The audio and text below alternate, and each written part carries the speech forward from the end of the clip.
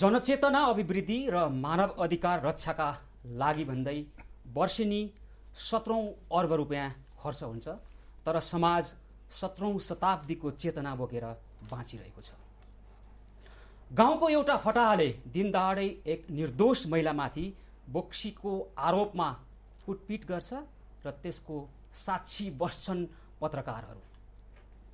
सत्य सेवा र सुरक्षाको नारा घोकेर बसेको प्रहरी घटनाको उजुरी लिन मान्दैन र जनप्रतिनिधि पीडक छुटाउन दौडधुप गर्छन्। यही हो एक्काइसौँ शताब्दीको मध्यकालीन नेपाल। आखिर नेपाली समाज कता जाँदैछ? के हो यो बोक्सी भनेको? र मानव अधिकार कर्मी र प्रहरीको भूमिका के हो? आजको कार्यक्रममा हामी यसै सम्बन्धमा छलफल गर्दैछौँ। हामीसँग हुनुहुन्छ राष्ट्रिय मानव अधिकार आयोगका सदस्य एवं प्रवक्ता मोहना अन्सारी नेपाल प्रहरीका प्रवक्ता डिआइजी मनोज नेउपाने र नेपाल मानव अधिकार सङ्गठनका अध्यक्ष अधिवक्ता इन्द्र अर्याल। मोहनाजी तपाईँबाटै सुरु गरौँ। पछिल्लो समय यो नेपाली समाजमा जे देखा परिरहेको छ नि यो हेर्दाखेरि नेपाली समाज कता जाँदैछ भन्ने? मलाई चाहिँ दुःख लाग्छ अहिलेको जुन पछिल्लो विकसित घटनाक्रमहरू छ नि समाजमा विशेष गरेर समाजमा महिला लगायत अन्य जात-जाति अ, माथि भइरहेको जुन किसिमको प्रवृत्ति छ नि त्यो हेर्दाखेरि मलाई दुःख लाग्छ। र अहिले यो म धेरै लामो समयको विश्लेषण गर्न चाहँदैन बिकज सात वर्षदेखि आठ वर्षदेखिको एउटा सेरोफेरोमा रहेर हामीले विश्लेषण गर्ने हो भने महिलाहरू मैले यो यो यो समयलाई किन मैले माने भन्दाखेरि म आफू राष्ट्रिय महिला आयोगमा भएदेखिको समयलाई मैले अलिकति गणना गरिरहेको छु। त्यो यस्तो पिरियड थियो त्यति बेला चाहिँ नेपालमा लैङ्गिक हिंसाको एउटा वर्ष मनाइँदै थियो। त्यति बेला पनि महिलामाथि हुने हिंसाहरू व्यापक रूपमा घटेका थिए। दलितमाथि हुने जुन एउटा किसिमको दुर्व्यवहार थियो। त्यति बेला त्यो घटनाक्रमहरू एकदमै वृद्धि भएको अवस्था थियो र मान्छेमा जागरुकता आएको पनि थियो। जागरुकता इन अ सेन्स कसरी आएको थियो भन्दाखेरि व्यक्तिहरूले आफ्ना अधिकारप्रति सचेत भएका थिए र मैले न्यायिक पहल गर्नुपर्छ। मैले भोगेको विभेद मैले भोगेको हिंसालाई अब सहेर बस्नु हुँदैन भन्ने किसिमको। मैले तपाईँलाई सोध्न खोजे चाहिँ आफै मान्छे जागरुक हुने कि राष्ट्रिय मानव अधिकार आयोगकै कुरा गर्ने हो भने अठार वर्षको भयो होइन? त्योभन्दा अगाडिकै कुरा गर्ने हो भने थुप्रै मानव अधिकारका पसलहरू। तपाईँहरू चाहिँ केवल चासो व्यक्त गर्ने दुःख व्यक्त गर्ने आग्रह विशेष आग्रह विज्ञप्ति प्रकाशन यस्तैमा अल्झिरहनु भएको छ नि? होइन मलाई जहाँसम्म लाग्छ सुशीलजी एउटा कुरा के हो भन्दाखेरि राष्ट्रिय मानव अधिकार आयोगका केही दायित्वहरू छन्। त्यो दायित्व पुरा गर्न सकेका छैन भन्नुहोस् न। छैन त्यस्तो म भन्दिनँ। त्यस्तो म किन भन्दिनँ। हामीले हामीले आफ्नो दायित्व पुरा गरेका छौँ। तपाईँलाई लिखित रूपमै चाहिन्छ भने त्यो पनि दिन्छौँ। तपाईँले जुन एउटा शब्द प्रयोग गर्नुभयो नि विज्ञप्ति मात्रै जारी जारी गर्ने आग्रह मात्रै गर्ने। अझ विशेष आग्रह? होइन यो यो कस्तो छ भन्दाखेरि यो शब्दहरूलाई त्यति सहज नलिनुहोस्। शब्दहरू। अत्यन्त हामी हामी परिणाम। चाहन्छौँ काम चाहन्छौँ। म फेरि आउँछु तपाईँ कहाँ नेपाल प्रहरीका प्रवक्ता डिआइसी मनोज नेउपाने मनोजी के नेपाल प्रहरी उजुरी लिएर आएको पीडितलाई उजुरी लिँदैन नेपाल प्रहरी? कैलालीको घटना हेर्ने हो भने पनि त्यहाँ त्यस्तै घटना भएको छ र यस्ता थुप्रै घटनाको तथ्याङ्क मैले आज बोकेर आएको छु। यसो गर्न मिल्छ प्रहरी होइन यो कन्फ्युज यसमा कन्फ्युज हुने कुनै कुरा छैन। कुनै पनि कुरालाई जाहेरी अथवा जानकारी मात्रै भयो भने त्यहाँ प्रहरी पुग्छ। कुनै पनि घटना हुनुभन्दा अगाडि जाहेरी त पछिको कुरा भयो। कुनै पनि घटना हुनुभन्दा अगाडि प्रहरीलाई जानकारी भयो भने प्रहरी त्यहाँ घटना त्यो प्रिभेन्सन साइड लिएर रोकथाम गर्न त्यहाँ पुग्छ। घटना भइसके ड्युरिङ समयमा छ भने पनि त्यहाँ पनि प्रहरी जानकारी हुने बित्तिकै प्रहरी पुग्छ।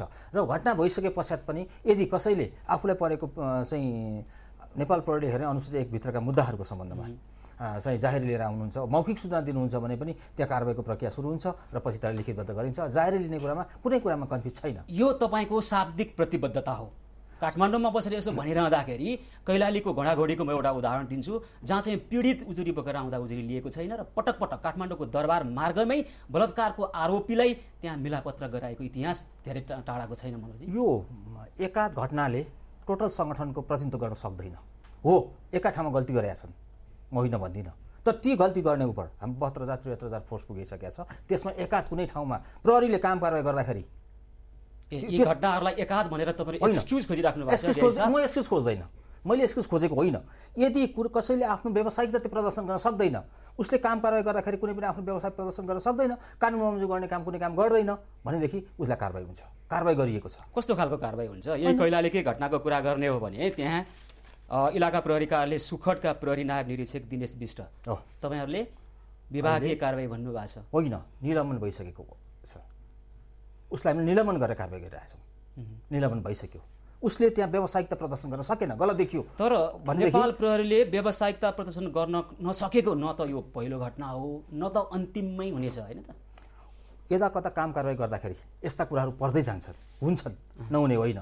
किनभने यो कहीँ पनि समाज पनि एउटा अपराधविहीन मुलुकको समाज अपराध पनि हुँदैन। काम कारवाही गर्ने दौडानमा कतिपय कुरामा व्यावसायिकता प्रदर्शन गर्न नसकेर कतिपय कुरामा म भन्दैछु कतिपय कुरामा अज्ञानताको कारणले गर्दाखेरि र कतिपय कुरामा अन्य व्यवधान लगायत कति कुरामा यसले व्यक्तिगत कुनै चाहिँ आफ्नो इच्छा व्यक्त व्यक्तको कारणले पनि गर्छ। यदि गर्छ भने पनि यी सबै कन्डिसन नेपाल अज्ञानी छ। उसको प्रोफेसनलिजम छैन त्यसो भए त्यो स्वीकार्नु पर्यो त्यो- होइन, त? एकाध व्यक्तिले गर्दाखेरि आफ्नो व्यवसायिकता जस्तो तपाईँले उसको घटना भन्नुभयो कैलाली घटना हो त्यो व्यवसायिकता प्रदर्शन गर्न नसकेको भन्ने कुरा हामीले महसुस गरेर उसलाई निलम्बन गरेर कारवाही गरिएको छ। नेपाल मानव अधिकार तर एउटा एउटा कुनै ठाउँको चाहिँ घटनाले सबै यो सङ्गठनको प्रतिनिधित्व हुन चाहिँ सक्दैन। त्यस्तै घटना नहोस् भन्ने जनताको अपेक्षा। हो। नेपाल मानव अधिकार सङ्गठनका अध्यक्ष अधिवक्ता इन्द्र अर्याल इन्द्रजी नेपालमा मानव अधिकार सङ्गठनकै कुरा गर्ने हो उन्नाइस सय अठासीबाट भएको यस्ता थुप्रै खालका पसलहरू पार्टी पछि खुल्या छन् अहिले मानव अधिकारको नाममा होइन? तपाईँहरू मानव अधिकारको नाममा विदेशबाट डलर ल्याएर खानुहुन्छ र जनचेतना अभिवृद्धिको नाममा आफ्नै आर्थिक अभिवृद्धि मात्रै गर्नुहुन्छ भन्ने कुरो त मैले आरोप लाउनु पर्दैन होला। नेपाली समाज हेर्दा र सत्रौँ शताब्दीको सोच बोकेर बाँचेको नेपाली जनता हेर्दा थाहा हुन्छ नि होइन? एकदम। पहिलो एउटा कुरा चाहिँ मेरो हकमा फिर्ता लिनु होला। यो के अरे? विदेशी डलर ल्याएर के बाँड्नुहुन्छ कता मैले यो। एकदम व्यक्तिगत कुरा गरिरहेको छैन है मैले प्रवृत्तिगत तपाईँ- कुरा तपाईँ गरिरहेको छु क्वेसन सोध्ने मान्छे अर्को हुलले के भन्यो भनेर चाहिँ तपाईँको त्यसै बोल्नुहुन्छ अरे भन् मेरो भन्नु केही छैन तर म। हरेक तथ्यको उत्तर दिन्छु र हरेक कुराको तथ्यमा तपाईँ सम्पूर्ण। मानव अधिकार। सङ्गठनको जिम्मा लिन सक्नुहुन्छ इन्द्रजी सम्पूर्णको सक्दिनँ म त्यही मेरो मात्रै। कुरा गर्छु सबै। म मेरो कुरा गर्छु र व्यक्तिगत आरोप। लगाएन तपाईँलाई म मेरो कुरा गर्छु र तपाईँको कुरा गर्छु त्यसकारण म के भन्दै चाहन्छु भनेदेखि यहाँ दुईजनाले अलिकति बोली पनि सक्नुभयो। र त्यो बोलिसक्दाखेरि उन्नाइस सय अठासीदेखिको आजसम्मको प्रक्रियामा हामी आइसक्यौँ र त्यस पछाडि विभिन्न खालका मानवाधिकार अ, सँग सम्बन्धित अर्गनाइजेसन खुलेका पनि हुन्।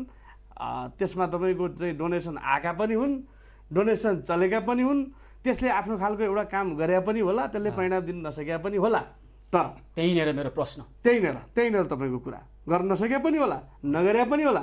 तर आज हामी जुन कुरा उठाउँदैछौँ कैलालीको घटना यो बोक्सीको आरोपमा यो वर्ष टु थाउजन्ड एट्टीमा यो वर्ष एक वर्षभित्रमा नेपाल प्रहरी समक्ष तेत्तिसवटा मुद्दा पुगेको छ मलाई लाग्छ त्यो डाटा ठिकै होला मैले भनेको। मैले तथ्य पनि ल्याएको छु अहिले भनौँला। तेत्तिसवटा मुद्दा लाग्छ मलाई र तेत्तिसवटा मुद्दामा बडो समस्या छ। मैले उहाँलाई व्यक्तिगत रूपमा भन्नुपर्ने कुरा केही पनि छैन। होइन उहाँको अर्गनाइजेसनसँग कति कुरा हामीले गुनासो राख्ने गर्छौँ। त्यो तेत्तिसवटा मुद्दामा बोक्सीको आरोपको मुद्दा सहज ढङ्गले दर्ता भएको कति छन् भन्यो भने तपाईँ तपाईँ हामी सिरिङ्ग हुनुपर्ने अवस्था। त्योभन्दा अगाडिकै कुरा गरौँ न यस्तो खालको अहिले पनि बोक्सी भनेर आरोप लगाउने खालको जनचेतना अभिवृद्धि गर्ने अथवा त्यसलाई न्यूनीकरण गर्नको लागि जो जोले भूमिका खेल्नु पर्थ्यो यो यो कमजोरी देखियो। तपाईँ तपाईँ हामीले एउटा कुरा के बुझौँ भनेदेखि वास्तवमा बोक्सीको बोक्सीका सम्बन्धमा कारवाही गर्न दुई हजार बहत्तर सालमा बल्ल नेपाल सरकारले कानुन ल्यायो त्यसको अर्थ के थिएन भने त्योभन्दा अगाडि के बोक्सी बोक्सीको समस्या नेपालमा थिएन र थियो नि तर हाम्रा एक लेभलका मान्छे जो छौँ मलाई लाग्छ मिडल क्लासको एक लेभलका मान्छे र नभए त नाड्य टाइपका मान्छे यी मान्छे आज पनि तपाईँको चाहिँ अन्धविश्वास र तपाईँको चाहिँ साइन्स र अन्धविश्वासको दोधारमा छन्। त्यही त। यो यो समाज। कारक कारक सोधिरहेको छु मैले कारक- त्यहाँ पत्रकार साक्षी बसेको छ जनप्रतिनिधिले पीडकलाई छुटाउने प्रयास गरिराखेका छ। प्रहरी उजुरी लिन मान्दैन होइन? म त्यसैमा आउँदैछु म त्यसैमा आउँछु। त्यसकारण तपाईँ हामीले यो बिचका मान्छेलाई या हाम्रा एजका मान्छेलाई बोक्सीका विरुद्धको कुरा सुनाएर या यी अन्धविश्वासका कुराहरू कुरुति हट्छ भन्ने विश्वास मान्नुभन्दा यो अन्धविश्वासलाई चिर्नका लागि तपाईँको चाहिँ विद्यालय शिक्षामा पाठ्यक्रममा राख्नुपर्ने आवश्यक छ। त्यो भयो भने के हुन्छ त्यो सानोमा सिकेको कुरो उसले जीवनभरि बिर्सिँदैन। सानोमा तपाईँको चाहिँ गाउँघरमा समाजमा जे कुरा सिकिया छ त्यो पछाडि आएर मान्छेले त्यसलाई सात वर्ष अगाडि चितवनको बगौडीमा बोक्सी आरोपमा ढेगनी देवीको हत्यापछि सर्वोच्च अदालतले बोक्सी बोक- बोक्सा प्रथा हुँदैन भूतप्रेत हुँदैन अन्धविश्वास हो। पाठ्यक्रम लगाएर विद्यालयमा पढाऊ भनेर सरकारलाई त्यो बेलामा निर्देशन दिएको थियो अहिलेसम्म लागू हुन सकेको छैन। छैन। छैन अब त्यसमा कसको कमिटमेन्टको कमी भन्ने देखिन्छ कि? अब तपाईँको राज्य सञ्चालनमा बस्नेहरू चाहिँ मेरो आरोप राज्य मानव अधिकार चलाएर बस्नेहरूको समस्या हो। हाम्रो हामीले गर्ने भनेको के हो भने कम्तीमा बोक्सीको आरोप लागेर पीडित भएका मान्छेहरू जसले समाजमा न्याय पाएका छैनन् जसलाई समाजले बहिष्कार गरेछ ती मान्छेको आरोप उजुरी लगेर प्रहरी समक्ष पुर्याइदिने र प्रहरीलाई पनि त्यसमा कन्भिन्स गराएर त्यो उजुरी दर्ता गरेर मुद्दा चलाइदिनु भन्ने कन्डिसनमा हो र त्यहाँनिर हामी तल परेका छैनौँ। त्यहाँनिर चाहिँ हामी तल परेका छैनौँ। अ, मोहनाजी समस्या कहाँनिर हो? एउटा प्रतिनिधिमूलक घटना हो कैलालीको घोडाघोडीको। मैले त्यति मात्रै सोधिराखेको छैन मलाई ठ्याक्कै भनिदिनु समस्या समाज हो जहाँ चाहिँ समाज साक्षी बस्छ एउटा निर्दोष महिलामाथि कुटपिट भइरहँदा पत्रकारहरू साक्षी बसिराखेका छन् त्यहाँ। मेयर साहबहरू छुटाउन कुदिराखेका छन्। प्रहरी उजुरी उजुरी लिन मान्दैन। मानवाधिकार कर्मीहरू प्रेस विज्ञप्ति निकाले निकालै छन् यो गरेन त्यो गरेन भनेर चिल्ला कागजमा रिपोर्ट बनाएर राष्ट्रिय अन्तर्राष्ट्रिय सम्मेलन गरिराखेका छन् तारे होटलहरूमा। यो हो नि। छैन केही कुरा सुशीलजी मिडियाको साथीहरूले पनि बुझ्नु जरुरी छ सञ्चारकर्मीहरूले। तपाईँलाई पनि मेरो एउटा तपाईँले आग्रह विग्रह गरिराख्नु भएको छ खालि आग्रह मात्रै गरेर। तपाईँलाई पनि मेरो एउटा आग्रह छ के छ भन्दाखेरि मानव अधिकारको क्षेत्रमा काम गर्ने व्यक्तिहरूको केही दायित्व हुन्छ केही सीमा रेखा हुन्छ एउटा आयोगलाई नै मैले मैले व्यक्तिगत यहाँ कुनै पनि आज तपाईँसँग मैले गर्ने कुरा कुनै व्यक्तिगत। होइन राष्ट्रिय मानव अधिकार आयोगकै मैले कुरा गर्दैछु।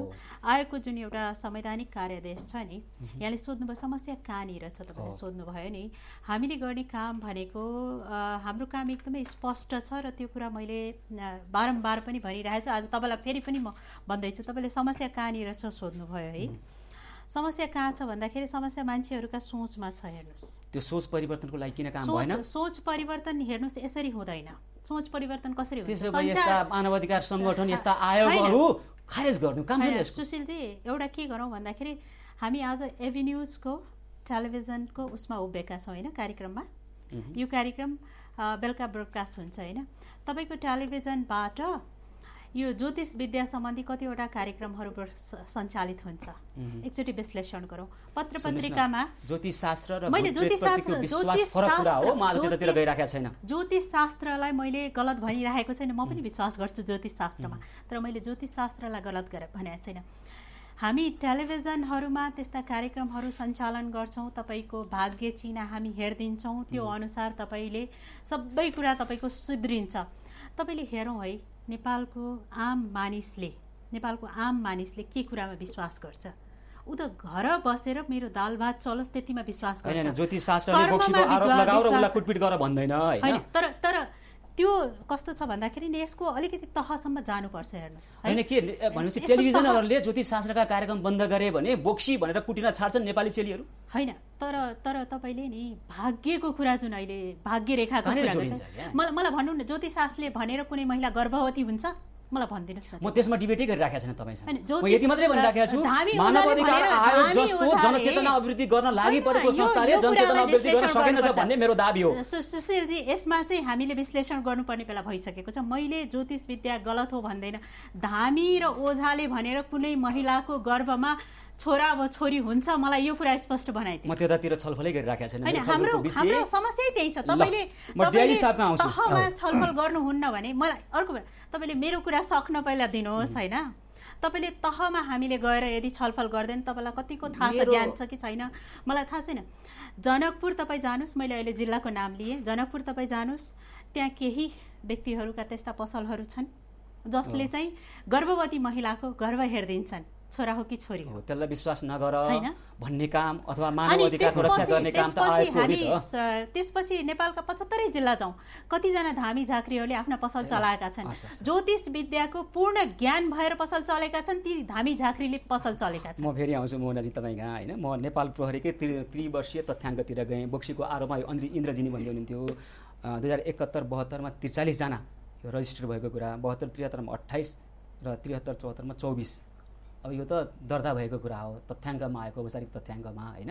महिला हिंसाकै कुरा गर्ने हो भने त बढोत्तरी भइराखेको छ।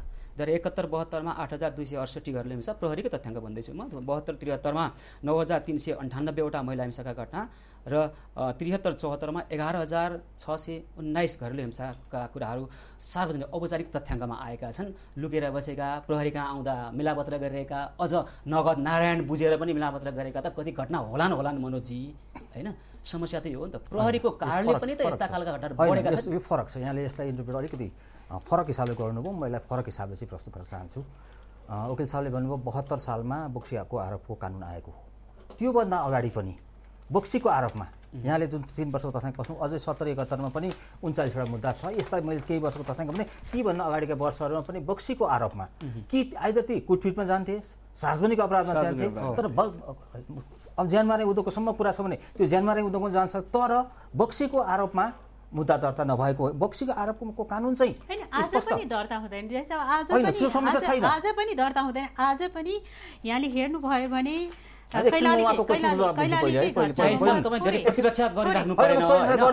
लगाइराखेका त्यो वर्दी हामीले त्यसमा लान्छना लगाइराखेका छौँ। त्यो अझै चम्किलो होस्। होइन, नेपाली चम्किलो जनताले त्यो गर्ने वर्दीप्रति भनेको सम्मान होइन। गर्न मैले सकुन्। भन्न खोजेको म क्लियर अनि गर्दैछु। यो मैले एउटा- क्लियर गर्दैछु यो एउटा कुराहरू। मात्रै कुरा मात्रै भनिदिन्छु। एउटा मात्रै कुरा भनिदिन्छु आज पनि बोक्सी आरोपमा मुद्दा दर्ता हुँदैन।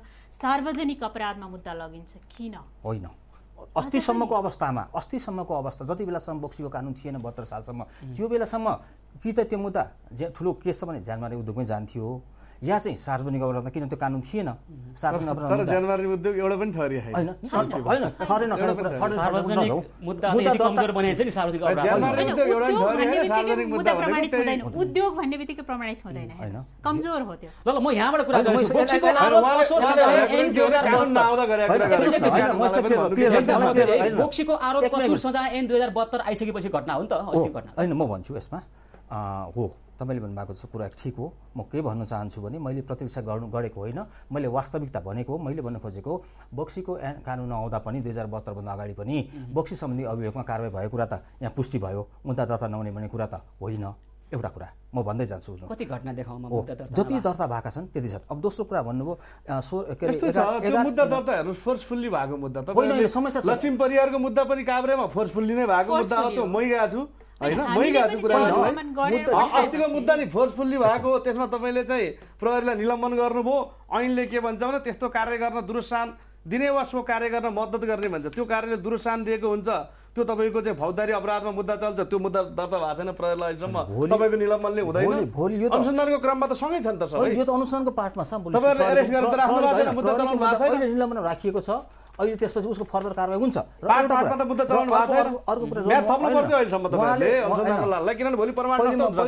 सुशीलजीको जवाब दिन्छु। त्यसपछि यहाँको पनि जवाब दिन्छु म। पहिले सुशीलजीको जवाब दिन्छु। यहाँको-? पनि दिन्छु। म उहाँको सकौँ त्यसपछि। जस्तो एघार हजार छ सय उन्नाइस हो। हामीले तथ्याङ्क राखेका छौँ। महिला हिंसाका घटनाहरू दर्ता भएको छन्। यसमा सामान्य वाद विवाददेखि लिएर अझै महिला घरेलु हिंसाले त मेलमिलाप गराउनु नै भन्छ। कानुनै भनेको छ मेलमिलाप गरौँ भनेर। श्रीमान जब घरेलु हिंसाको मुद्दाहरू आउँछ त्यसमा कानुनै तोकिएको छ कि पहिलो चरणमा एकपल्ट मेलमिलाप गराउने। हो। बलात्कारका घटनालाई बलात्कारको घटना भनेको घरेलु हिंसा होइन। जम्मै यो सँगै- खालका फौजदारी घटनाहरूमा पनि यस्तो काम भयो। मैले तपाईँलाई उदाहरण दिइरहेको छु। होइन मैले भने यदि त्यस्तो कुराहरूको जानकारी आइसकेपछि ती गल्तीहरू सच्याएर कारवाही त बढेको छ कारवाही त भएको छ प्रोसेसमा त गयो नभएको त छैन। हो त्यहाँ एकाध प्रहरीको गल्तीले गर्दा गल्ती कारवाही गल्तीले गर्दाखेरि उनीहरूलाई हामीले कारवाही गऱ्यौँ। प्रष्ट रूपमा। यस्तै पनि गल्ती कसै कसैले पनि गर्छ भने कारवाही हुन्छ तर? मुद्दाको प्रक्रिया अगाडि जान्छ। एकैछिन बोक्सीको आरोप लगाउनेलाई कैद र जरिवाना दुबैको व्यवस्था गरिएको छ। पाँचदेखि आठ वर्ष र पचास हजारदेखि एक लाखसम्म जरिवाना। तर तपाईँहरू निलम्बन भन्नुहुन्छ विभागीय कारवाही मात्रै भन्नुहुन्छ। यसमा त मतियार देखियो होइन। अनुष्ठानको अनुष्ठानको क्रममा मुद्दा चल्दै जानको बखतमा कानुनले जे ठहराउँछ कानुनले ठहराएअनुसार कारवाही हुन्छ। ल अभियोजन लगाउने पक्ष प्रहरीले अनुसन्धान गर्ने पक्ष हो अभियोजन। भोलि सरकारी उकिल कारवाहीबाट हुन्छ कानुनमा ले ठहरे बमोजिमको उसलाई कारवाही हुन्छ। ल, हजुर इन्द्रजी तपाईँ अधिवक्ता पनि हुनुहुन्छ मानवाधिकार कर्मी पनि हुनुहुन्छ दुईटा पाटो रह्यो। एउटा चाहिँ एकछिन म सरले भनेको क्वेसन छु मु एउटा प्रहरी इकाइले मुद्दा दर्ता गरेन भने त्योभन्दा माथिल्लो निकाय पनि छ नि मुद्दा दर्ता गराउन जाने। पहिला आफ्नो दायित्व पुरा गर्नु पर्यो नि जाऊ भनेर च्यालेन्ज गर्ने होइन नि त। च्यालेन्ज होइन त। यदि उसले गल्ती गर्यो भने ठिक छ उसलाई तपाईँ हामी पिपुल पछि रेस्पोन्स भएर बसेको अर्गनाइजेसन र हो। पिपुल पछि रेस्पोन्स भएको अफिसरले मैले गर्ने भने तिमी माथि जाऊ भनेर न्याय फैसला गरेर गर्नु त्यो होइन। मैले मेरो दायित्व दायित्व पुरा गर्छु भनेर दायित्व- उत्तर दिनुभन्दा नि होइन, समाजलाई उत्तर दिनु दायित्व। पुरा गर्ने हो दायित्व पुरा गर्ने कसैले गल्ती छौँ। गर्यो भने। हामीले के देखिरहेको छौँ भने प्रत्येक इस्युमा जस्तो राजकुमार उपाध्यायकै विषय होस् या तपाईँ लक्ष्मी लक्ष्मी परिवारको कुरा होस् त्यो एउटा टिचरले तपाईँ गर्नुहोस् हामीले टिचरलाई ट्रेन गर्न सकेका छैनौँ बोक्सीको विरुद्धमा बोक्सी हुँदैन भनेर हामीले बालबालिकालाई ट्रेन गर्न सकेका छैनौँ त्यो आफ्नो पार्टमा छ त्यो गर्नुपर्छ त्यसमा तपाईँको चाहिँ कानुन कार्यान्वयनको विषयमा पनि हामी फितुलो छौँ। त्यो फितलो छौँ भन्ने कुराको एक एक प्रमाण छ। त्यस कारण त्यसलाई ढाक्नुभन्दा पनि हामीले जिम्मेवार निकायले के भन्न सक्नुपर्छ भने कानुन कार्यान्वयनको निकायमा कहाँ न कहाँ हामीले यो कुरामा सबैलाई बुझाउन सकेनौँ या ट्रेन गर्न सकेनौँ प्रहरीको तालिम गर्दाखेरि घरेलु हिंसा या तपाईँको। बोक्सी सम्बन्धी एकैछिन। अर्को पनि फेरि एकैछिन। सुपरिटेसन हामी प्रहरीमा हुने मान्छेले मान्छौँ र बोक्सी हुन्छ भन्ने कुरो प्रहरीमा हुने मान्छेले मानिरहेको हुन्छ सातवटा औँठी लाएर तपाईँको चाहिँ गर दशा कटाइरहेको हुन्छ त्यो मान्छेले फलानु बोक्सी भनेपछि ओहो बोक्सी लाग्ने मान्छे रहेछ अस्ति नै मेरो छोरोको नि चाहिँ छेरपट्टि लाएको थियो त्यस कारण यसैले हो कि भनेर चाहिँ बुद्धिले पनि तपाईँको चाहिँ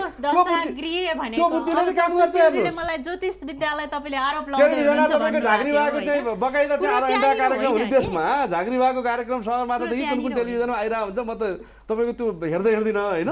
अनि त्यस्तो बुद्धि भएको हाम्रो देशमा अनि प्रहरीमा बस्ने मान्छे पनि त्यही मेन्टल लिएर बसेको हुन्छ जसलाई हामीले ट्रेन गर्न सकेका छैनौँ। त्यो ट्रेन नगरेको परिणाम हो भनेर स्वीकार अस्तिको चाहिँ हाम्रो चाहिँ अस्तिको सैसाबले तपाईँको उहाँले त्यो मरणासन्न भएर एउटा चाहिँ बालिका मरणासन्न भएर कुटपिट भएको अवस्थामा त्यो पनि मेयर साहब अगाडि भएको बेलामा उहाँले जुन उजुरी लिन सक्नु भएन नि त्यहाँको उहाँको कमजोरी देखिन्छ। ठाउँमा छ कि उजुरी लिन समाउन गएको प्रहरीले त्यो जो भोले बाबा छ त्यसको खुट्टा ढोकेर फर्केको उहाँलाई निलम्बन गर्नु ठुलो कुरो होइन त्यो तपाईँको जरियालाई समात्ने तपाईँले निलम्बन गरेका कारणले अर्काको बुद्धि आउँदैन। जरिया के हो भने हामीले उहाँहरू जस्तालाई ट्रेन गर्न सकेनौँ हामीले उहाँहरूलाई यो विषयमा बुझाउन सकेनौँ भन्ने कुरातिर जाउँ के। मतलब दायित्व दायित्व हाम्रो समाजमा के छ। भने एकपटक तपाईँ एउटा सानो उदाहरण दिउँ। तपाईँको चाहिँ एयरपोर्टमा त्यो भिआइपी कक्षमा आउने ठाउँमा सोफा एकदम कालै फोहोर रहेछ के? अनि एकजना समथिङ को थियो मैले ठ्याक्कै नाम चिनिनँ। उहाँले के भन्नुभयो भने भिआइपी कक्षमा आउने बेलामा चाहिँ मलाई लाग्छ यो खिलरा देवीको पालामा होला। आउने ठाउँमा भयङ्कर फोहोर रहेछ। यस्तो चाहिँ किन भयो? भनेर उहाँले एक दर्जन साबन किनेर त्यहाँको सफाइ कर्मचारीलाई दिनुभएछ। भनिसकेपछि बेलुका टेलिभिजनले तपाईँको त्यहाँको प्रमुखलाई जसले सफाइ गर्नु भन्थ्यो उहाँले चाहिँ लियो। होइन यो बजेटै थिएन। भनेर सोफा खोल धुनी बजेट थिएन भनेर उहाँ पन्जीन खोज्नुभयो। त्यो तपाईँको दायित्व होइन। दायित्व म भनेको के हो भने हामी। भनेर गल्ती स्वीकार्दा हुन्छ क्या प्रहरीको यहाँ समस्या कहाँ देखिराखेको छ भने तपाईँले यो अहिले स्टुडियोमा बस्दाखेरि तपाईँको वर्दी जति उज्यालो देखिया छ नि त्यति उज्यालो नेपाली जनतामा यसको छवि छैन। क्षमा गर्नु होला यसरी ठिक छ।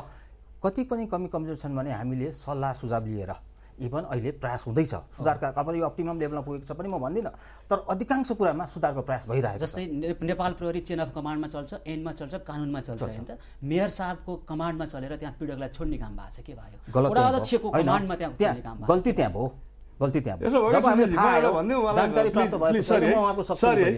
त्यहाँ भयो के अरे दुईजनाको ठुलो गति छ कि? एउटा उहाँहरू के भन्नुहुन्छ भने हामीले निलम्बन गऱ्यौँ त्यसकारण चाहिँ कानुन नहेरिकन यो ऐन नहेरिकन निलम्बन गऱ्यौँ निलम्बन गरेपछि भोलि के हुन्छ भन्दै हुनुहुन्छ।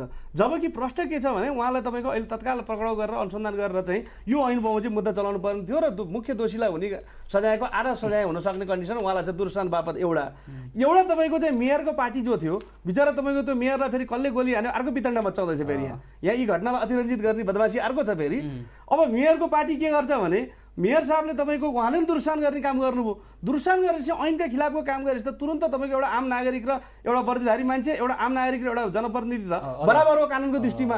त्यो नगरेर उहाँहरू पनि के गर्नुहुन्छ भने त्यसलाई सजाय गर्नको साटो सजायबाट बचाउनको लागि पार्टीले छानबिन गर्ने कोही कोही सङ्गठनले छानबिन गर्ने छानबिन गर्ने। तर सबै तपाईँकै न्यायालय सङ्गठनले यहाँ। छानबिन गर्ने तर यो कानुन बमोजिम छानबिन गर्दाखेरि चौबिस घन्टाभित्र पक्रिनुपर्छ भन्छ यो कानुनले ठिक छ भनेको अवस्थामा यो कानुनले हो- भन्छ, तपाईँले भनेर। कहाँ पाउनुहुन्छ? मैले बोल्ने होइन बोले त कानुनै हो यसले तपाईँ के भन्छ चौबिस घन्टाभित्र दोषी सम्पूर्ण दोषीलाई पक्राउ गर्नुपर्छ भन्छ तर तपाईँहरू के गर्नुहुन्छ सही हिसाबले चौबिस घन्टाभित्र पक्राउ गर्नुहुन्न निलम्बन गरेर उम्किँदै उम्काउँदै हुनुहुन्छ कोही कोही एमाले तपाईँको पार्टीले छानबिन गरेर उम्काउँदै हुनुहुन्छ त्यो दुइटै गलत कार्य छ भनेको मतलब हामी यसमा अझै चाहिँ यसमा मलजल गर्दैछौँ कि यो कार्यमा? किनभने कानुन बमोजिम हामी कारवाही गर्दा तोकेको छ। कुनै मुद्दामा छैन कि? कुनै कानुनमा छैन चौबिस घन्टाभित्र। समात्नुपर्छ भन्ने। तर यसमा लेखेको छ। नेपाली जनताले तिरेको करबाट राज्य कोषमा जम्मा भएको पैसा र त्यसको तलब भत्ता खाएर बस्नुभएका मान्य जीवहरू क्षमा गर्नु होला मलाई। वर्दीधारी प्रहरी जीवहरू होइन? र मानवाधिकार सङ्गठनमा लाग्नुभएका जीवहरू यी तिनवटा जीवहरूमध्ये सबभन्दा बढी दोष चाहिँ कुन जीवको त भने नि? नेपाली समाजको दोष हो कि होइन? मानव अधिकारको क्षेत्रमा काम गर्नेहरूले मानव अधिकार संरक्षणको क्षेत्रमा केही गर्न नसक्या हो कि? तपाईँले भने रेडियो टेलिभिजनले ज्योति शास्त्र बजायो त्यस कारण बोक्सीमाथि बोक्सी भन्दै कुटपिट बोक्सीको आरोप लगायो भने हो कि?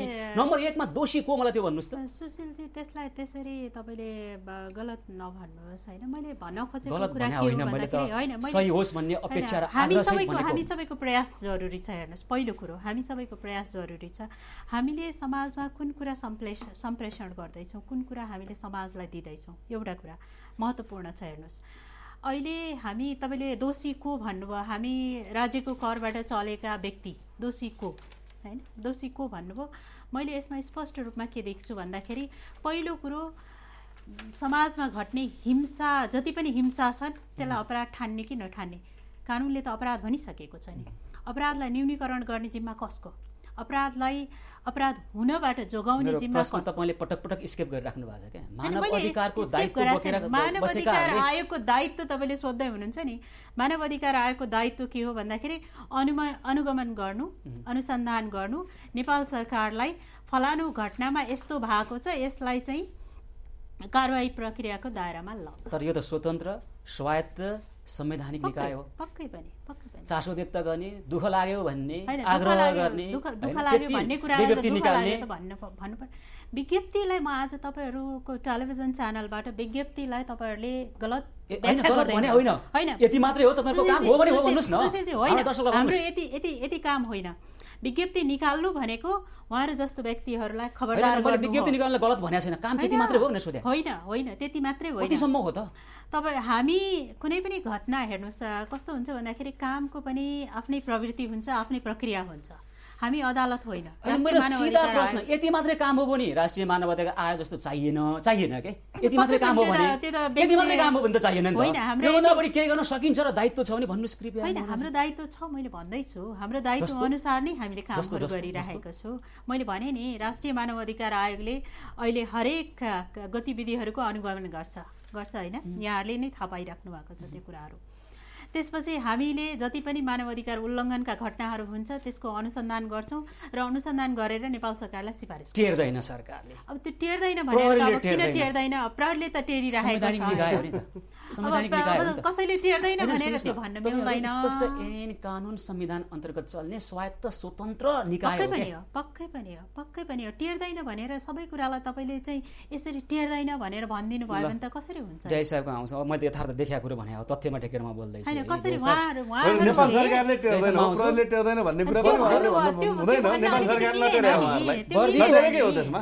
क्षतिपूर्तिमा टेर्छ सजायमा टेर्दैन कुरा यो यो कस्तो छ भन्दाखेरि नि तपाईँको यो कार्यक्रम आम मानिसले हेर्छ कि कतिपय कुरा गलत छन् त्यो त्यसलाई यहाँहरूले पनि त्यो कुरा स्वीकार दिनुहोस् न तपाईँहरूबाट भएको गल्ती मैले हामीले कुनै गल्ती गरेका छैनौँ पत्र हामीले कुनै गल्ती गरेका छैनौँ यहाँलाई थाहा छ कि थाहा क्षमा छैन? गर्नु होला गल्ती सबै ठाउँबाट भएको छ र नेपाल यस्तो छ। समाज यस्तो छ। यो घटनामा कैलालीको घटनामा जब उहाँहरूले त सार्वजनिक मुद्दामा लानुभयो नि कुनै पनि घटना।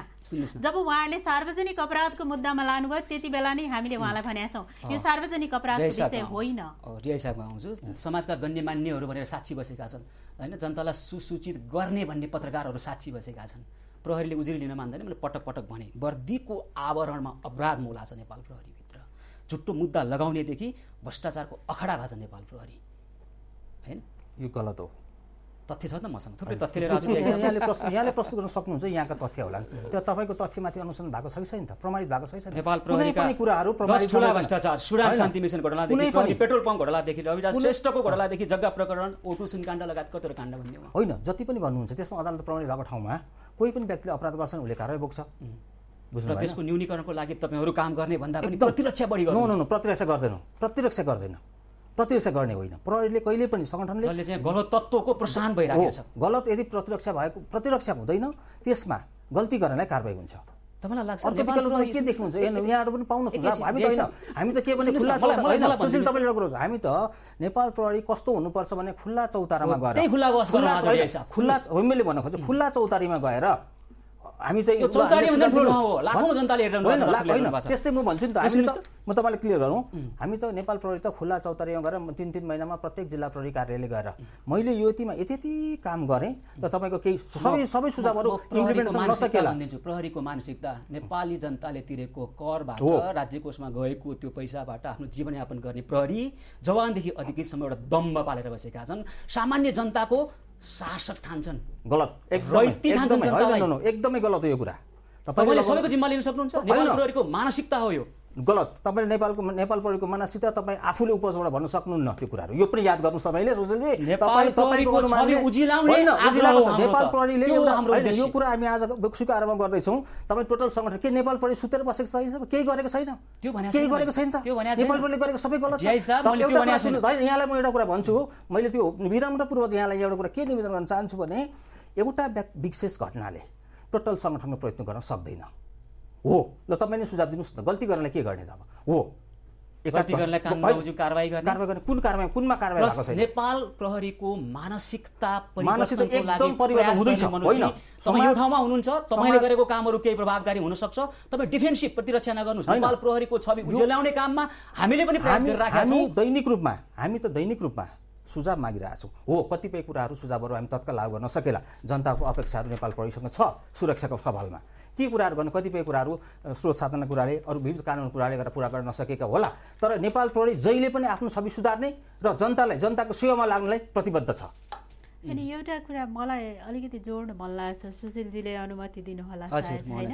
कस्तो छ भन्दाखेरि नि नेपाल प्रहरीका केही कुराहरू जुन हामीले पनि अनुगमन गरिरहेछौँ नजिकबाट तपाईँहरूको प्रहरीको गतिविधिहरूलाई एकदमै हामी अनुगमन गरिरहेका हुन्छौँ। र हामीलाई दुःख के लाग्छ भन्दाखेरि महिला हिंसाको घटनालाई अझ पनि नेपाल प्रहरीले अपराधको रूपमा व्याख्या व्याख्या गर्न चुकिरहेको छ। र चुकिरहेको यहाँनिर के कारण छ भन्दाखेरि विभिन्न घटनाहरू छन्। फेरि जब हामीले जब पत्राचार गर्छौँ सुशीलजीले भन्नुभयो उहाँकै भाषामा विज्ञप्ति जारी गर्छौँ त्यसपछि नेपाल प्रहरी त अलिकति यसो भाइब्रेन्ट हुन्छ स्याकिङ हुन्छ। अनि त्यसपछि नेपाल प्रहरीलाई के लाग्छ? अब मानव अधिकार आयोगको नोटिसमा यो घटना आयो। अब मानव अधिकार आयोगले त्यो सम्बन्धित प्रहरीलाई कारवाही हुने गरी निलम्बन हुने गरी त्यसपछि उसको ग्रेड रोक्का हुने गरी अब सिफारिस आउँछ। त्यसकारण यो घटनालाई अब हामी संवेदनशील रूपमा हेर्नुपर्छ र यसको स्पष्ट रूपमा अनुसन्धान प्रक्रिया अगाडि बढाउनुपर्छ। मलाई अर्को एउटा महत्त्वपूर्ण कुरा। मैले पनि एउटा कुरा चाहिँ म दोहोऱ्याउन चाहन्छु। नेपाल प्रहरीले फेरि त्यहाँ कतिपय घटनाहरूमा हामीले पठाएको रेकमेन्डेसनहरूमा अनुसन्धान पनि गरेको छ। जवाफ पनि पठाइरहेको छ। कतिपय ठाउँमा चाहिँ नेपाल प्रहरीका केही व्यक्तिहरूले गर्दा त्यो त मैले समग्र सङ्गठनलाई आरोप लगाउन खोजेँ होइन होइन, त्यहाँ ने- सङ्गठनभित्रका नेपाल प्रहरीका क्यान्सर केही जस्ता व्यक्तिहरूले तत्त्वलाई गर्दाखेरि त्यसलाई निर्मूल फेरि गर्नको लागि प्रयास गर्नु whole पर्यो इन्स्टिट्युसनमा हामीमाथि पनि त्यो कुरा आइरहेको छ कि? कुनै एउटा व्यक्तिको ल, म गल्ती यहाँनिर जोड्न खोज्छु। म यो प्रहरीबाट भएका जस्तै निलम्बन मात्रै गर्ने अथवा अँ। ग्रेड रोका मात्रै गर्ने भन्ने यहाँ छ। कानुनले के भन्छ? त्यो मतियारको रूपमा जस्तै यस्तो छ। प्रहरी ऐन बमोजिम हो भने प्रहरीले चाहिँ कुनै खालको गल्ती गर्यो भने तपाईँको चाहिँ त्यसमा प्रहरी ऐन बमोजिम ग्रेड रोकाएको कुरो निलम्बनको कुरो तपाईँको निष्कासनको कुरो त्यो एउटा प्रोसेस छ होइन? तर यो ऐन बमोजिम अहिलेको कुरालाई गरौँ धेरै लामो कुरा नगरौँ होइन? धेरै लामो कुरा गर्दा धेरै लामो कुरा हुन्छन् त्यसमा चाहिँ जाँदै बमोजिमको कुरामा उहाँहरूले तपाईँको प्रहरी नायब निरीक्षक दिनेश विष्ट जो मतियारको रूपमा देखिए त्यहाँ हुनुपर्ने कारवाही यहाँ डिआई साहबले भने जस्तो निलम्बन मात्रै हो कि। अरू पनि केही ऐन यहाँ छ के भन्छ यो? ऐनले के भन्छ भने त्यस्तो कार्य गर्न कसैलाई दुरुत्साहन दिने वा कार्य गर्न मद्दत गर्ने भन्छ। दुरुत्साहन दिएको भनेको र मद्दत गरेको भनेको दुरुत्साहन भनेको उसलाई इम्पावर दिने कुरा। मद्दत गर्ने भनेको कुरो के हो भने उहाँलाई व्याख्या गर्दाखेरि भोलि अदालतले छुट्टै व्याख्या गर्दैछ भने आफ्नो ठाउँमा छ। तर ऐनले प्रश्न के भन्छ भने उहाँले हुनुपर्ने सजाय दोषी उप हुनुपर्ने सजाय नगराइसकेपछि त्यो दोषी जो छ त्यसलाई अझ इम्पावर गरेको देखिन्छ के? यो ऐनको बडो विशेषता छ। ऐनको विशेषता के छ भने उपदफा एक बमोजिम दरखास्त वा सूचना प्राप्त हुन आएमा प्रहरी कार्यालयले चौबिस घन्टाभित्र पीडकलाई झिकाइ वा पक्राउ गरी प्रचलित कानुन अनुसन्धान तथा तहकिकात गर्नुपर्छ भन्छ। त्यहाँ प्रहरी चाहिँ के भन्छ असै साहब पनि उहाँ के सही साहब होइन। उहाँ विष्टजी पनि उहाँ पनि त्यहाँ के देखिन्छ भने पीडकमा देखिनुहुन्छ। किनभने उहाँले मुद्दा दर्ता गर्नु भएको छैन एम्बुलेन्समा पीडित ल्याएको अवस्था छ। त्यो अवस्थामा उहाँले नगरेका कारणले उहाँले निलम्बन गरेर सुख पाउनु यो ऐनले चौबिस घन्टाभित्रमा उहाँलाई पक्राउ गर्नुपर्छ र सम्बन्धित निकायमा बुझाएर कारवाहीका लागि अगाडि बढाउनु पर्छ उहाँले कारवाही गर्ने होइन। उहाँले। कारवाही त कारवाही भएपछि निलम्बनमा परिहाल्छ। कानुनको पालना किन भएन। चौबिस घन्टा भन्छ कि चौबिस घन्टा? प्रहरीले गर्नुपर्ने अनुष्ठानमा म अन्त गएन नि। कुनै पनि म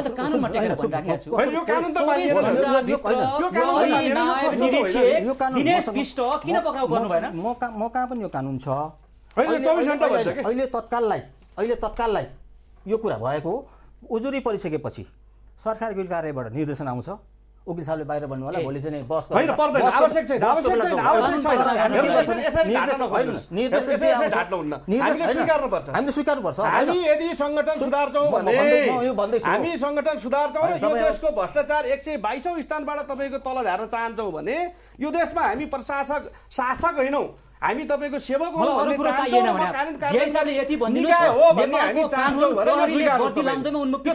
पाउँदैन। अनि अब यसलाई कानुन बमोजिम कारवाही हुन्छ। यसमा कुनै प्रतिबद्ध छ यो। त म भन्छु भनिरहेको छु कानुन नि। बमोजिम कानुन कारवाही बमोजिम भनेको कारवाहीलाई चौबिस त- घन्टाभित्र पक्राउ गर्नु 24 पर्थ्यो। घण्टा अहिलेसम्म भन्छ। भएको यसमा छैन किन यसमा कानुन बमोजिम मेयर कारवाही हुन्छ। साहबलाई चौबिस घन्टा अब भित्र सरकार- कारवाही हुनु पर्थ्यो। सरकार वकिल कारवाही- सही साहबलाई चौबिस घन्टा भित्र बाट- कारवाही हुनु यहाँ, जय साहब, ठिक छ होइन म एउटा कुरा के प्रश्नलाई भने स्किप अहिले छैन हजुर, एउटा 24 कुरा घण्टा कानुनी टाइम व्याख्या गर्छु। कटिसक्यो। होइन, ठिक छ। एउटा व्याख्या तपाईँको होला। ऐनको व्याख्या ठिक छ? तपाईँको तर्कले नेपाल तपाईँको। तपाईँबाट के हो के हो कुरा वास्तविक कुरा भन्नु पऱ्यो नि त मैले त। यहाँ आएर म कानुनमा टेकेर भन्दैछु। अब त्यहाँबाट हुने कारवाहीहरू हुन्छ। जे हुनुपर्ने कारवाहीहरू सरकारी वकिल कार्यालय समक्ष हामी चाहिँ अमुक उत्तर भन्नुभयो भोलिसम्ममा उहाँहरू चाहिँ उहाँलाई पक्राउ गरेर कारवाही हुन्छ भन्ने कुरो हामीले विश्वास मानौँ नि त होइन होइन। हो, त्यो का- प्रतिबद्धता कानुन। अनुसार कानुन अनुसार होइन, सरकारी यो ऐन वकिल छ कार्यालय नि, दिएको निर्देशन अनुसार प्रहरीले अनुसन्धान गर्छ। त्यहाँ अनुसन्धान क्रममा जे जे देखिन्छ उसको गल्ती कमजोरी छ भने कारवाही हुन्छ। पक्राउ गर्नु पर्दैन हो, पक्राउ हुन्छ आम मान्छेलाई गर्नुपर्छ। अहिले त्यो कुरामा त सामान्य मान्छेलाई गर्ने होइन। सबैलाई गर्ने कारवाही पुलिस पनि पक्राउ भएको म त। यहाँ घट्ने लिएर भन्दैछु पुलिस पनि भएका स्केप कति स्केप गर्ने म त स्केप- हुन्न। त्यही हो म स्केप हुन्न ठाडो प्रश्न ठाडो साहब। सही कुरा गर्ने हो अब होइन उसले के कतिसम्मको गल्ती गरेको छ भनेसम्म अहिले हामीले तत्काललाई त्यो अनुष्ठानलाई असर नपरोस्। उसलाई पदमा म भन्छु उसलाई पदमा बाली गरिराखे राख्दाको अवस्थामा अनुष्ठानमा असर नपरोस् भनेर उसलाई तत्काल तुरुन्तै निलम्बन गरिएको हो। प्रमाण नष्ट नगरोस्। प्रमाण नष्ट नगरोस् भनेर उसलाई तत्काल निर्माण गरेको त्यो कन्डिसन अहिलेको त्यहाँ कन्डिसन के छ? त्यो पनि म अहिले त हुन्छ त्यो केसँग म अप टु डेट छैन। अहिले त्यो त्यो केसँग चाहिँ तर एउटा कुरा के भन्छु भने कानुन बमोजिम हुने कारवाही हुन्छ। मोहनाजी। उसलाई चाहिँ तपाईँले फोर्स गर्नै पर्छ। त्यो कानुन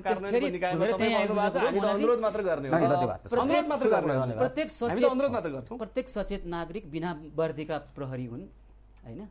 त्यस कारण यहाँ प्रहरीको कुराहरू आइराखेको छ। जे हिसाबले धेरै प्रतिरक्षा नगरे हुन्छ। हामी सबैको आग्रह भनेकै पूर्वाग्रह भने पनि भन्नुहोस् नेपाल प्रहरीलाई सबैले मेरो सङ्गठन हो यो प्रति भनेको विश्वास जगाउन सक्नुपर्छ नेपाली जनताले सम्मान गर्न सक्नुपर्छ। त्यो अवस्था छैन तपाईँ जति कराए पनि गर्नुपर्छ भन्ने आग्रह मैले यहाँनिर हामी यहाँले भन्नुभएको कुरालाई पूर्वाग्रह रूपमा लिँदैनौँ। एउटा सुचापूर्वक ग्रहण गर्छौँ।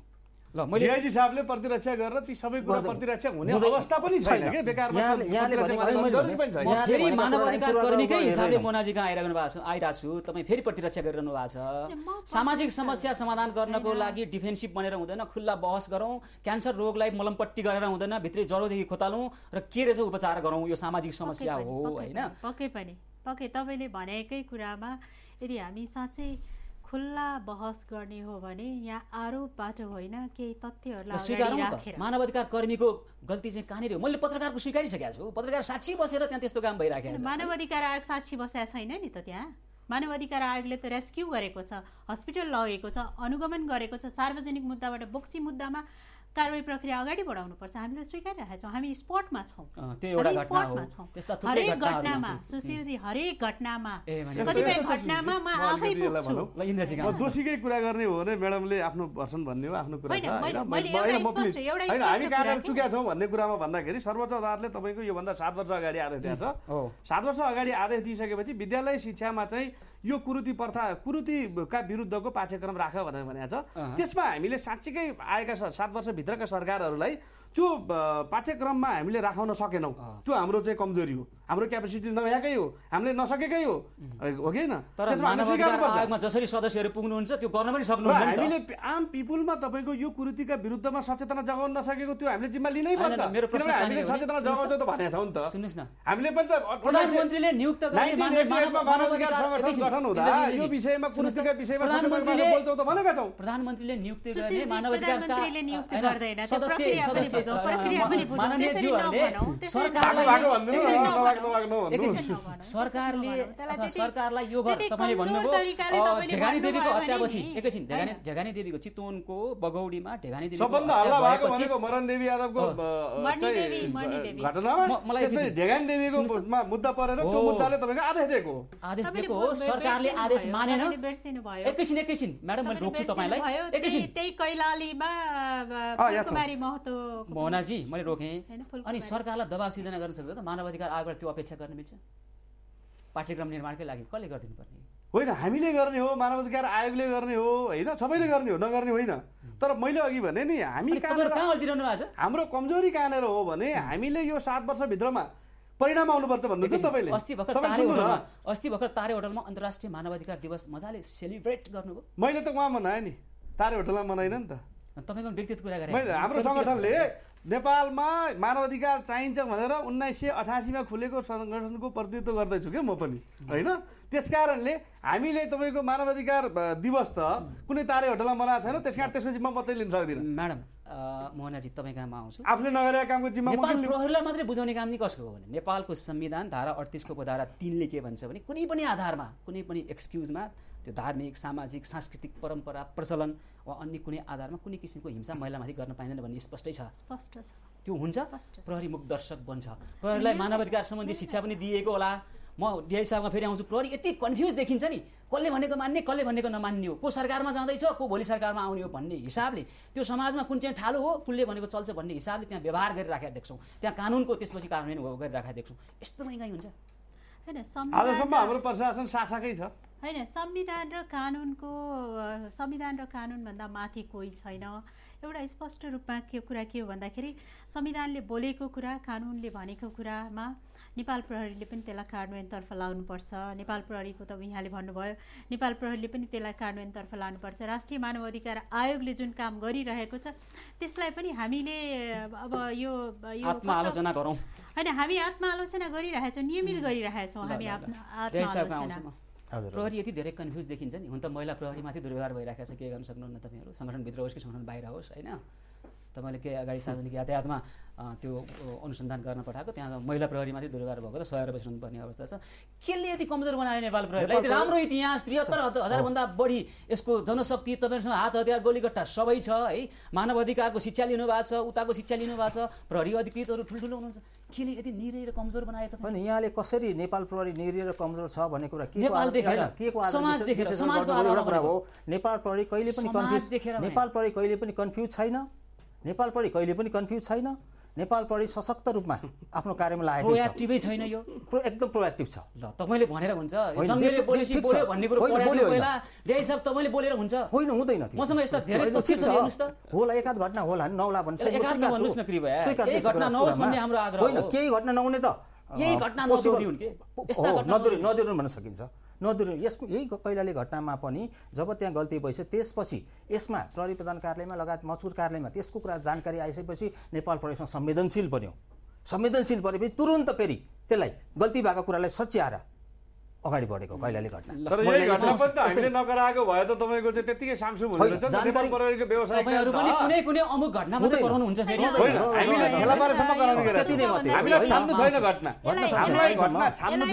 यसलाई- स्पष्ट रूपमा यसरी बुझिदिनुपर्छ हेर्नुहोस् होइन। सचेत गराउने निय निकायले नियमित रूपमा सचेत गराउनु पनि जरुरी छ हेर्नुहोस्। हामी कहाँको कस्तो छ भन्दाखेरि व्यवहारिकता यस्तो फरक छ नि जो मान्छेको पक्षमा कोही उभिँदैन त्यो मान्छेको मुद्दा दर्ता हुँदैन। हुँदैन। यस वास्तविकता यही छ कि। तर अब कस्तो सब छ वास्तविकता हो यसलाई सुधार्ने प्रयास तपाईँले गर्नु भने तपाईँको व्यक्तिगत। छवि त। जान्छ एउटा प्रहरी होइन, रूपमा उज्यालिन्छ डिआइजी साहब सिभिल ड्रेसमा तपाईँका सम्बन्धित कार्यालयमा तपाईँलाई नचिनिने अनुहारले हो सबैले चिन्दैन नि त।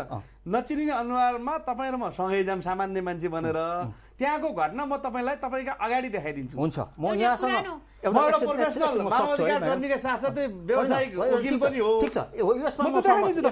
म के भन्छु भने तपाईँले विश्लेषण गरेर यसो नेपाल प्रहरी कमजोर छैन? एउटा कुरा। दोस्रो- कुरा छैन, के यसको लागि होइन, म- सम्मान छ। होइन, म- म- म- दोस्रो कुरा। ने- दोस्रोमा नेपाल प्रहरी कन्फ्युज छैन। एउटा घटनाले संस्थागत प्रतिनिधित्व हुनु सक्दैन। हो यसै कुरामा पनि। एउटा राम्रो घटनाको चाहिँ क्रेडिट लिने?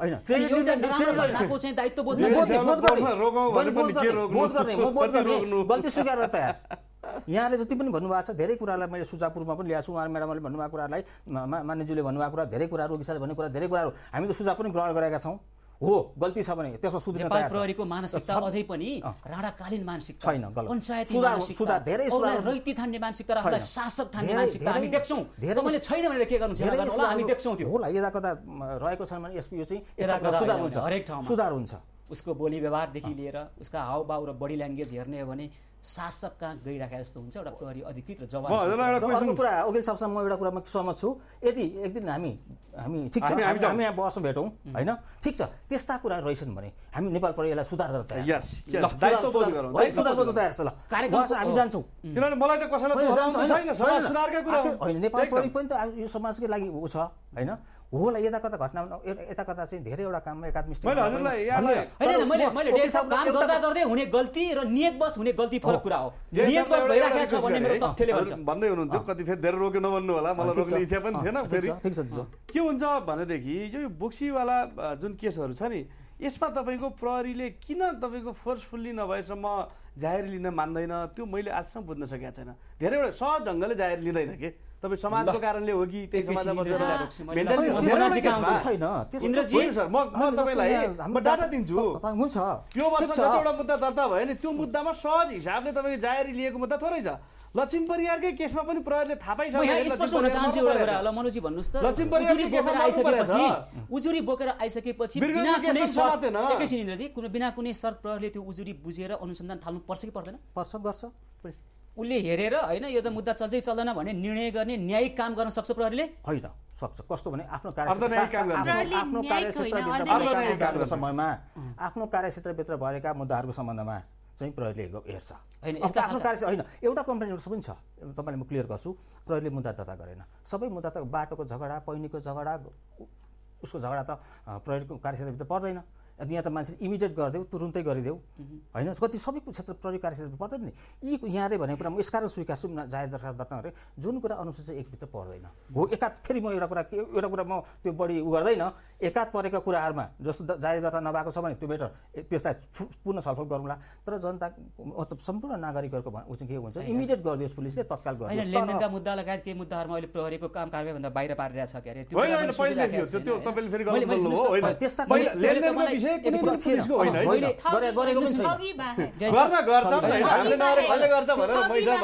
शान्ति सुरक्षा कायम राख्नु पर्यो भने चाहिँ हामी लेखिदिन्छौँ होइन। सिद्धान्तमा तपाईँले भनेको कुरा ठिक हो भाषामा ठिक हो व्यवहारमा के छ भने लेनदेनका मुद्दा पनि तपाईँको ल्याइ मेरो प्रश्न चाहिँ छोडिदिउँ। जिम्मेवारी भित्रैकै कामहरूमा तपाईँले दायित्वबोध गर्नु नभएको धेरै उदाहरण छ मात्रै भनिरहेको छु म। दायित्वबोध नभएको होइन दायित्वबोध भएको छ। कार्यक्रमको अन्त्यतिर नै आइरहेका छौँ। समाज अन्धविश्वासी छ। पत्रकार अन्धविश्वासी मेयर साहब त्यस्तो होइन वकिल साहबहरू मानवाधिकार कर्मीहरू प्रहरीहरू हेरिहाल्यौँ हामीले। समस्या त सुल्झाउनै छ। कहाँबाट सुरु गर्ने कसरी गर्ने? केही कुराहरू सम्झौता हुन सक्दैन। पहिला त्यो बुझ्नु पर्यो। स्थानीय निकाय स्थानीय जनप्रतिनिधिले सम्झौता हुँदैन। महिला हिंसाको घटनामा मानव अधिकार उल्लङ्घनको घटनामा सम्झौता हुँदैन। त्यो कानुनको बरखिलाफ हो कानुनको उल्लङ्घन हो। त्यो बुझिदिनु पर्यो। त्यसपछि दोस्रो दोस्रो कुरा के छ भन्दाखेरि नेपाल प्रहरीले आफ्नो दायित्वलाई दायित्व बोध गरेर ती पर्दैन। होइन मैले पनि गर्ने हो। म म म फेरि सजाय दिने निकाय होइन नि। तपाईँहरूलाई मैले सजाय दिनुहोस् भनेकै छैन।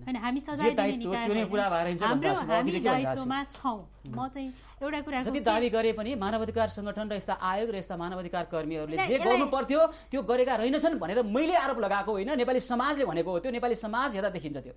त्यो कस्तो छ भन्दाखेरि नि फेरि पनि म एउटा? तपाईँलाई एउटा विशेष अनुरोध के गर्न चाहन्छु भन्दाखेरि नि आयोगले गरेका कामहरूलाई तपाईँहरूले नि यति यो यो ढङ्गले विश्लेषण गर्नुभयो भने हुँदैन होला ए तपाईँहरूले भने जस्तै गरी विश्लेषण गरिदियो भने चाहिँ हुन्छ हाम्रो हाम्रो हाम्रो भनाइ पनि तपाईँले सबैको आग्रह त्यही त हो नि हाम्रो- हाम्रो भनाइ पनि। वकिल साहब त्यही भन्नुभएको छ। आफू राम्रो हो पानीमाथि आफू ओभानो हो। अरू सबै भिजेका अरू सबै गलत छैन, त्यो। भनिदिनु पर्यो मिडियाले होइन। खुसी हुने मिडियाले मिडियाले वास्तविकता बाहिर ल्याइ हामीले त्यही भनिराखेको छौँ वास्तविकता बाहिर वास्तविकता सुन्नुहोस् त नेपालमा जुन अथवा समाजमा जुन खालको जनचेतनाको अभाव छ र अन्धविश्वास छ त्यसमा यो क्षेत्रमा लागेका मानिसले काम गरेका रहेनछन् भन्ने कुरो त्यो हामीले भने होइन कि? समाज हेर्दा देखिया कुरा हो। तर सुशीलजी निकै अन्त्यमा छौँ। एउटा कुरा भन्छु के? एउटा कुरा हामी सबैले पनि के बोध गर्नुपर्ने छ नि? तपाईँले अघि पटक पटक भन्नुहुँदा सचेत नागरिक भन्दै हुनुहुन्छ नि होइन कुनै पनि घटनामा हजार दुई हजारको उपस्थिति सचेत बनाउनु पर्नेहरू, मानव। अधिकार शिक्षा दिनुपर्नेहरू। सचेत नागरिक आम जनताले भन्दैछ भन्दै हुनुहुन्छ। होइन। मेरो प्रश्न त त्योभन्दा अगाडि नै हो। जो सचेत हुनु पर्थ्यो सचेतै भएर हिँड्छन् मानव अधिकारको सवालमा सचेत भएर हिँड्छन् होइन? अन्य सचेत तपाईँले हेर्नुभयो भने बत्तिस सचेत नभएको कुरा त वास्तविकता रहिहाल्यो। त्यसमा त अन्य परेन। जय साहब के गर्नु त? नेपाल प्रहरीको प्रतिरक्षा मात्रै गर्ने कि नेपाल प्रहरी सुधार्नलाई प्रयास होइन? यहाँहरूलाई त म त हामी नेपाल प्रहरी हो। कुनै पनि यसमा नेपाल प्रहरी पनि अप्टिमल लेभलमा पुगेको छैन। यसका यसका पछाडि यहाँ एउटा प्रस्ताव आयो इन्द्रजीकोबाट पनि मोहनाजीले राख्नुभयो। एउटा प्रस्ताव तपाईँ यहाँबाट निस्केर गइसकेपछि नेपाल प्रहरीको अधिकृतहरूको मानसिकता परिवर्तन गर्ने प्रयास गर्नुहुन्छ? एक होइन प्रयास भइरहेको छ। ल पुगेकै छैन। प्रयास अहिले पुगेको छैन। हो। मैले भने अप्टिमल प्रयास- लेभलमा पुगेको छैन होला। हो। अप्टिमल लेभलमा पुगेको छैन होला त्यो कुराहरू। पूर्णता पाएको छैन होला। तर नेपाल प्रहरी जहिले पनि आफ्नो सङ्गठनको सुदृढीकरण सुधार र जनसेवामा एउटा छ। नारा छ के अरे होइन? मुस्कान सहितको सेवा। मुस्का सङ्घको सेवा छ। हाँसो लाग्छ। प्रहरी अधिकृत देख्यो भने। क्षमा गर्नु होला। तपाईँलाई हँसाउनै खोज्यो हो त मुस्कान सहितको सेवा भन्ने प्रहरी तपाईँ एउटा समस्या लिएर जानुहोस् त उहाँको व्यवहार हेर्नुहोस् त। होइन। शासकीय प्रवृत्ति देखाउनुहुन्छ। त्यो परिवर्तनको आवश्यकता छ नेपाल प्रहरी। राम्रो बनोस् भन्ने अपेक्षाले यहाँको लागि धन्यवाद। मुस्कान सहितको प्रहरी हाँसो होइन। यो एउटा अभियान हो।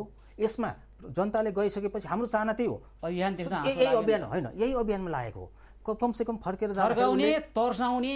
ढङ्गले छैन, बोल्ने। अश्लील शब्दै प्रयोग गरिहाल्ने देख्यो भने त्यो नेपाल प्रहरीको आम प्रवृत्ति हो केही राम्रा अधिकृतहरू छन् जसलाई हामी पनि सम्मान गर्छौँ सुधार हुँदैछ होइन अप्टिमल हुने? होइन यो क्रममा तपाईँ आउनु यस्ता। अधिकारीहरू थुप्रै देखिन्छ जनताले तपाईँ चलिरहने- आउनुहुन्छ सुधार हुँदैछ। भन्नुहुन्छ अर्को आउनुहुन्छ सुधार हुँदैछ भन्नुहुन्छ आम नेपाली जनता प्रताडित भइरहने तपाईँहरू सुधार गरिरहने प्रताडित छैन प्रताडित छैन। यहाँको एनालाइसिस हो एउटा। यहाँले भन्नुभयो। म एउटा कुरा के भन्छु भनेदेखि अप्टिमल लेभलमा पुगेको छैन सुधार्ने प्रयास भइरहेको छ। हस् ल कार्यक्रम निकै भन्थ्यो इन्द्रजी गर्ने के? तपाईँहरू पसल खोलेर बसिराख्नुहोस् हेर्नुहोस् है। क्षमा गर्नु होला नेपाली समाज यस्तै बसिराखोस्। यही हो नि तपाईँहरूको फेरि मैले सम्झाएँ तपाईँलाई। घटना पनि यही घटना पनि मानव अधिकार। कर्मीहरूले नभन्ने भने यो घटना पनि तपाईँको चाहिँ नेपाल प्रहरीमा जाहेरी दर्ता हुँदैन थियो। लक्ष्मी परिवारको हो, कुरो धेरै पनि गर्नु हामीले भएको बजेट रहेछ ल। नल्याउने हस्, नल्याएको भए दर्ता हुँदैन थियो हुन्छ धेरै गर्नु छ। बुझ्नुभयो। तपाईँले पनि धेरै गर्नुभएको रहेछ प्रहरीज्यूले पनि धेरै गर्नुभएको तर मैले मैले तपाईँले। भने जस्तो भनेको छैन हामीले मैले- जनचेतना जगाउन नसकेको कुरामा मैले अघि नै तपाईँलाई बोलिसकेँ विद्यालय शिक्षामा। हामीले राख्न नसकेको र त, बालबालिकालाई पढाउँदाखेरि। परिवर्तन हुन्छ भन्ने कुरो हामीले सरकारलाई यो हो तथ्यहीन आरोप होइन नेपाली समाज हेर्दा देखेको तथ्य सहितको यो आरोप हो यो आरोप लगाउन नपरोस् अब तपाईँहरूले आफ्नो क्षेत्रबाट अन्धविश्वास हटाउन महिला हिंसा हटाउन र मानव अधिकार उल्लङ्घन शुभेच्छा हामीलाई समय दिनुभयो तिनैजनालाई धेरै धेरै धन्यवाद। यहाँलाई एउटा म थप भन्न चाहन्छु यदि हामी त जहिले पनि जनताको सुझाव लिएर स्थानीय नागरिकको सुझाव लिएर समाजसँग। होइन एकै होइन। हातेमालो होइन अहिले तपाईँलाई यही कुरा म जोड्न खोज्दैछु। हातेमालो गरेर जनतासँग हामी काम गर्न गर्दैछौँ। अप्टिमममा पुगेको छैन होला तर यहाँले पनि त्यस्ता- मानव अधिकारको यहाँले- रिपोर्ट जस्तै हुने भयो होइन यहाँले यहाँले यो। कुराहरू यहाँले जुन आएका आरोपहरू छन् त्यो आरोप मलाई जानकारी गराइदिनु भने हामी यसमा पनि सुधारको प्रयास कति आरोप त जानकारी गराउँदा नि काम गर्न होइन, सक्नुहुन्न होइन, हेर्नुहोस् नसके- होइन ठिक छ। जुन सङ्गठनको प्रत्येक हेड चाहिँ भ्रष्टाचारमा जेल जान्छ तपाईँको अनि त्यो तपाईँले त्यो कहाँ विषय सक्नुहुन्छ त्यो विषय तपाईँ? वस्तु मैले डिफेन्ड गर्ने कुरा होइन त्यो आफू ठाउँमा गर्ने कुरा भ्रष्टाचारमा जेल जान्छ तपाईँहरूले सबैले सक्नुहुन्छ राम्रोसँग? काम गर्दै भए नेपाली समाज यस्तो हुँदैन थियो र मैले यो तितो प्रश्न। मोनाजी मनोजी इन्द्रजी समय दिनुभयो धेरै धेरै धन्यवाद। ल यहाँलाई पनि धन्यवाद। यति कुरा भने राख्ने अवसर दिनुभयो। तर। समाज उहीको उही छ। दर्शकमित आज हामीले छलफल गऱ्यौँ राष्ट्रिय मानवाधिकार आयोगका सदस्य प्रवक्ता मोहना अन्सारी। त्यसै गरी नेपाल प्रहरीका प्रवक्ता डिआइजी मनोज नेउपाने र नेपाल मानवाधिकार सङ्गठनका अध्यक्ष अधिवक्ता इन्द्र अर्यालसँग आजको कार्यक्रमको समय सकिएको छ। म सुशील पाण्डेलाई पनि कार्यक्रमबाट बिदा दिनुहोस्। हस्त नमस्कार।